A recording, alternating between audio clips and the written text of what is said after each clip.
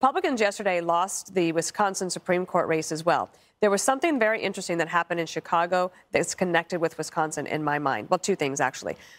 This guy, the new mayor, Brandon Johnson, the, most of the ads that he did against Paul Vallas were about abortion. Because 10 years or so ago, Paul Vallas said something mildly supportive of a pro life position, mm-hmm. but then said, But I just want everybody to do their own thing. But for me personally, I would be pro life.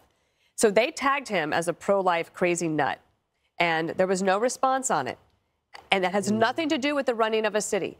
Now go ne- next door to Wisconsin. Republicans lose by 10 points. Mm-hmm. Now, they won a lot of the conservative ballot issues, the issues that are on the ballot, but the candidate on the Republican Supreme Court case, he lost by 10 points. And Republicans used to be able to count on their voters turning out in the midterms.